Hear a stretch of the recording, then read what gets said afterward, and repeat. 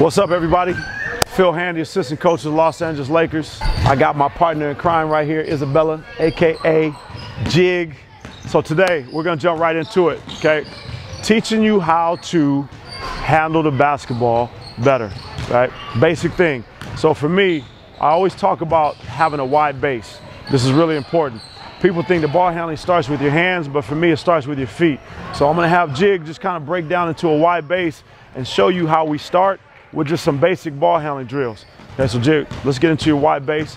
All right, so what we'll start, Jig, we'll start with some one hand crosses to a crossover, okay? So one hand cross, cross, one hand cross, cross. All right, ready? Again, yep, yep. So we'll go one hand cross to a cross. One hand cross, yes, good. And again, you notice Jig's base, okay?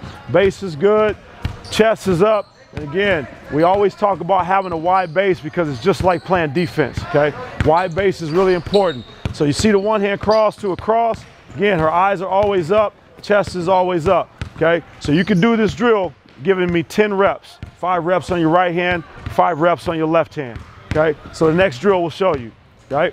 Show you the next drill. Again, talk about your wide base, okay? So again, just like jig, you'll see my base. So one hand cross, double cross, okay? One hand cross, double cross, and again, my base is always good, okay, with the ball handling. Here we go, jig. Up, one hand cross, double cross. Let's go five with your right, five with your left. Good, jig. Keep those eyes up, chest up. Good, nice, good. And switch. There you go. Yep, right hand, left hand. And again, raise your chest up just a little bit, jig. Raise up just a little bit. There you go. There you go.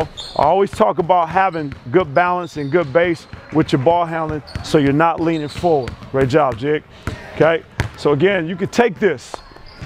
Jig's base, my base is not gonna change, okay? You can take this, and again, simple, one, cross, again, okay?